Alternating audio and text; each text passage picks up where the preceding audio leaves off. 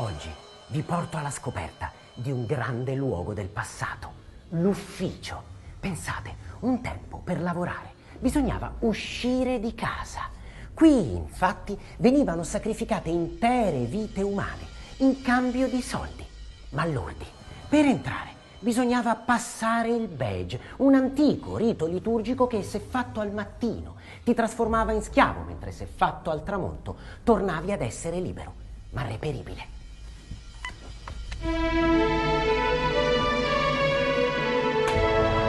E questa era la scrivania, l'altare al quale il dipendente veniva incatenato dalle rate del mutuo. Sopra alla scrivania l'impiegato lavorava, mangiava, spesso dormiva e infine moriva, sommerso da una pioggia di email.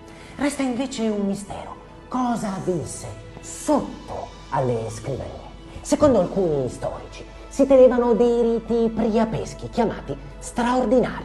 Se questi erano fra colleghi, si chiamavano relazioni extraconiugali. Se invece coinvolgevano un superiore, si chiamavano aumento o promozione. E questo è il fossile di un raro esemplare di dipendente donna che lavorò in quella mezzaluna fertile che va dalla laurea alla gravidanza, evento che ne determinò il licenziamento. Pensate, essa riusciva a sopravvivere in questo ambiente, nonostante le molestie, le poche chance di fare carriera e lo stipendio nettamente inferiore a quello dei colleghi maschi.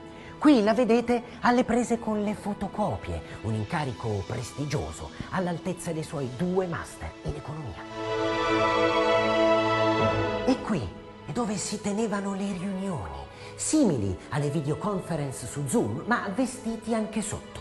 Durante le riunioni avveniva il prodigio, lo spirito aziendale dava a tutti i partecipanti il dono delle lingue e si usavano termini quale schillato, briffare, core business, first reaction shock.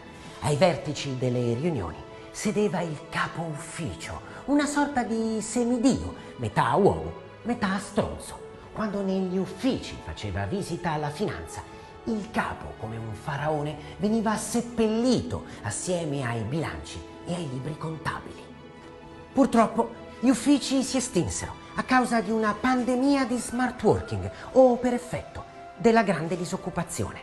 Ma ancora oggi, nelle nostre vene, scorre il caffè che i nostri antenati venivano a prendere qui, alla Sacra Fonte, un rito chiamato pausa, che oggi non esiste più.